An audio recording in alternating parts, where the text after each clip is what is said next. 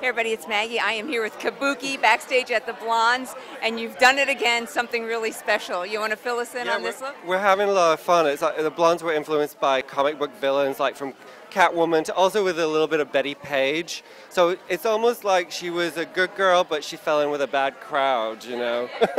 and uh, like maybe three of the girls have the green eyeshadow, which is a little bit like a cat's eyes glowing in the dark. And but all the other girls, they don't have the green eyeshadow, but they have the strong lip and the brow, which is like built-in attitude. Okay, and what's with the this eyebrow? I see that you're pasting it on. Right. It's uh, excuse me, I've coughed. It's made out of paper, but it's. I think on the runway, I think it will photograph kind of like a real eyebrow. But I just wanted real accuracy with the shape because the shape is what gives you that sort of slightly evil, kind of maniacal attitude. So I was really picky about the shape being the same on everyone. So it was just So cutting these it out. all pre-done. Cutting it out just seemed like the best way to go. Oh, well, that's so great. Thanks for giving us this time. I know it's showtime, and I appreciate Oh, it. Thanks no, a it's lot. You're the best. Thank you. Thanks. Bye.